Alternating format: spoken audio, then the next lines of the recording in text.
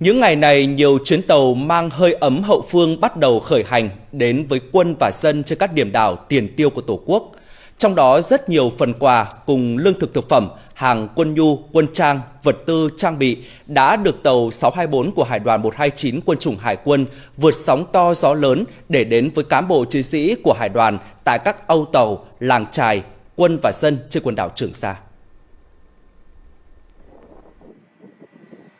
Lá rong, cành mai vàng, phần quà Tết là những thứ không thể thiếu để Tết ở Trường Sa được đủ đầy, không khác nhiều so với đất liền. Ngoài ra, các loại nhu yếu phẩm, trang thiết bị, vật tư cũng được vận chuyển ra với cán bộ, chiến sĩ và nhân dân trên các đảo để duy trì hiệu quả hoạt động của các âu tàu, làng trài trong thời điểm Tết Nguyên đán, cũng là thời điểm gió trướng, sóng lớn trên biển. Cái ờ, những cái món quà đầy ý nghĩa từ ờ, đất liền, từ ờ, hậu phương gia đình ờ, mang cái không khí Tết và cái tình cảm ấm áp từ đất liền gửi ra các chiến sĩ đang công tác tại quần đảo Trường Sa. À, mong rằng các đồng chí vơi đi được cái nỗi nhớ nhà cũng như là đoàn kết, khắc phục khó khăn và hoàn thành tốt được cái mọi nhiệm vụ được giao. Hiện nay, Hải đoàn 129 được giao nhiệm vụ quản lý, vận hành hai âu tàu tại đảo Trường Sa, đảo Sinh Tồn và hai làng trài tại đảo Núi Le, đảo Tốc Tan thuộc quần đảo Trường Sa thực hiện các nhiệm vụ.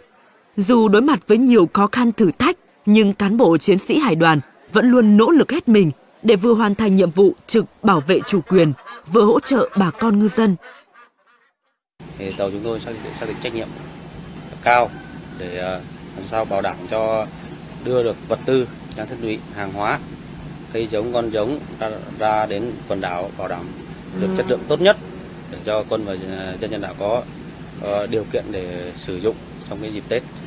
Thì uh, trong cái à, dịp uh, Tết này chúng tôi đi uh, ra đó để uh, chúc Tết anh em uh, để mà an tâm công tác. Đồng thời có cái nhiệm vụ đặc biệt quan trọng đó là chúng tôi cũng hỗ trợ giúp đỡ ngư dân. Có nhiều trường hợp ngư dân ghe cá người ta trong dịp Tết người ta vẫn bám biển để giữ ngư trường. Điều đó rất ý nghĩa.